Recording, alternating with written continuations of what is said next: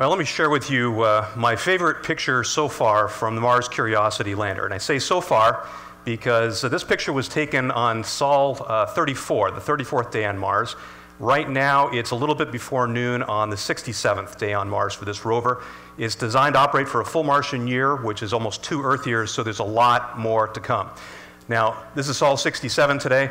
For some perspective, the rover that we launched in 2004, Opportunity, it had a twin named Spirit, which is no longer oper- uh, operating, but Opportunity is. Uh, right now, it's late in the evening on Sol 3100. Just to give you some perspective, the warranty ran out on Sol 90. So we're 3,010 days past the warranty. So this could go on for a very, very long time. This is my favorite picture so far. This was taken by a camera at the end of the arm on the rover. Uh, the rover is called the Mars Science Laboratory. Its name is Curiosity. It was actually a student contest, the winner that actually named the rover and wrote an excellent essay about that. The arm, it's actually a left handed rover, so it's got a shoulder, elbow, and wrist, and at the end is a turret that includes something called the Mars Hand Lens Imager.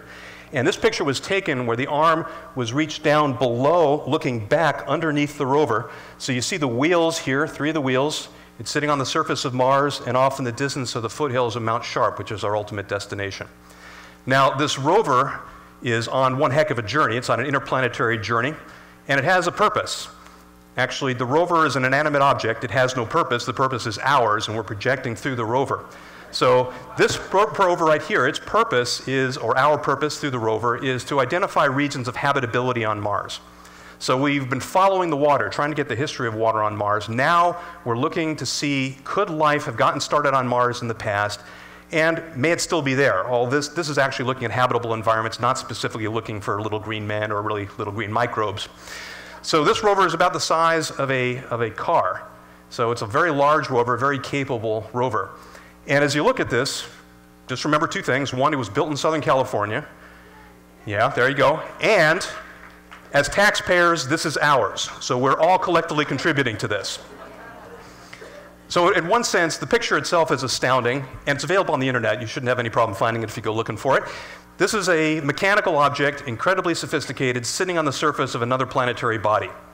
This is actually the fourth rover that's gone to Mars and the seventh time we landed on Mars. That should be a source of collective pride for the human race. Now, how did this happen? How did this astounding technological achievement take place? How, how can we engage in these journeys and, and uh, why do we have purposes like this to project out? Well, two things. First of all, human beings are fundamentally curious. So, one of the biggest questions is whether there's life elsewhere in the universe. And we used to think of the Goldilocks zone, so kind of between Venus and Mars, where it's not too hot and it's not too cold, it's just right, and here we are. Well, we're expanding that very dramatically, both in our solar system, looking at habitable environments where we find fresh water. Jupiter's moon Europa has a salty liquid water ocean below an ice crust.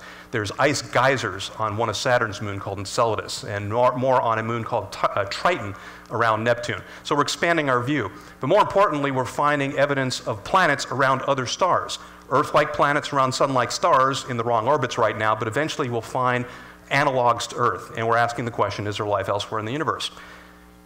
Either the universe has life in only one place and we're it, or the universe is teeming with life in planets around stars, around galaxies throughout the universe. Either one of those is incredibly profound, and we don't know which one it is. So, how is it that we come to engage in this kind of activity? And curiosity is as good a, an explanation as any. This is the result of millions of correct decisions made by highly motivated, talented, skilled, intrinsically motivated individuals who believe that asking and finding the technological means to answer really, really big questions is worthwhile. And we have the capability to do that. These people exist. In the case of engineers and scientists, we have rovers. In case of any other quest, there's certainly people around who are asking and answering the, uh, these important questions. So, how did our education system come to be able to do these kinds of things? Now, to flashback, I've been at the Jet Propulsion Laboratory for about uh, 23 years. Before that, I was a high school science teacher. When I got to JPL in 1990, I thought my job was to create the next generation of scientists and engineers. Well, what happened in the mid 1990s? By some measures, Southern California alone lost between 150 and 200,000 aerospace jobs. Some of you in the audience might have felt that personally. So we have aerospace in Southern California, but it's not what it used to be. So I didn't think I could go in front of a classroom of fifth and sixth graders with a straight face and say, study hard, take math and science, there's a great career for you ahead in aerospace. Because maybe there was and maybe there wasn't. So I satisfied myself that for the students that were truly interested and really adept at this kind of information, they would pursue these careers and that JPL and the aerospace companies and the nation would have the workforce that it would need. And to some extent, supply and demand shifts back and forth. But what about everybody else in the room? What about all those other students?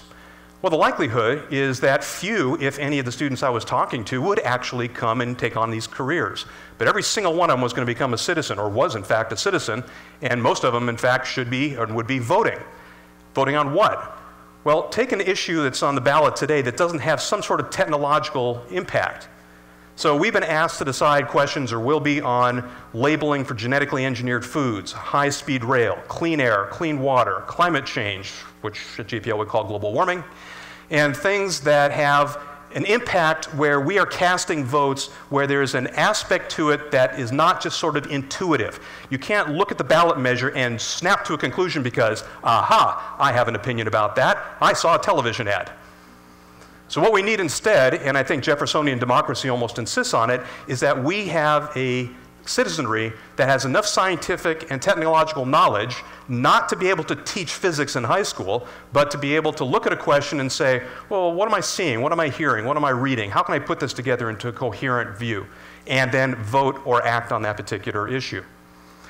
So, how's the school system doing in terms of preparing students for that? Well, for the last 10 years, under the reauthorization of the Elementary and Secondary Education Act, otherwise known as No Child Left Behind, also known as No Child Left Untested, No Teacher Left Unaccused. We've had a system where accountability has narrowed down to English language arts and mathematics. I've got nothing wrong with those two things, except that the emphasis in many schools has been don't let me catch you, catch you teaching anything that doesn't contribute to those test scores. Those are high stakes sco- scores. The district, the school, the veritable life of the principal depends on those scores and you have targets. You're supposed to be growing towards those targets. Ideally, everyone will meet those targets. So far, hasn't quite worked out that way. So we end up with students that are learning math as, well, largely in the way that they have over history. There's nothing really special going on there. I mean, they're new math. I, I, I don't mean to, to bemoan the teaching of mathematics, but mathematics is not quite like science in terms of new discovery the way it occurs. But really, my quarrel is a little bit more with English language arts, where the readers that the students have been using are industrial, for lack of a better word, in terms of the chapter and verse and what they're reading. They're reading as a skill, but they're not reading about anything. Occasionally, we look into the, uh, the readers and say, well, they're, they're reading, there's a section about Galileo. There's got to be some leverage to talk about astronomy in there. And then we really read it and go, oh my gosh, you know, there's nothing here to use. So my problem is that students are learning to read, but they're reading because they have to. They're not reading for pleasure, they're not reading for fun. So students aren't pleasure reading, which means they're not reading science fiction, which means they're not developing an expectation that I think I did. So, 2001 A Space Odyssey, both the book and the movie, and other people's Star Wars, various things throughout people's careers have an influence in terms of what they read or believe. Students today are not building a sense that they belong on Mars, that going to live on Mars, that a colony on Mars is not just something that we could do one day if you did this, that, and the other, but it's an inevitable pathway for humanity. I'm concerned that students today aren't looking in their horizons, don't extend beyond their horizons to that extent.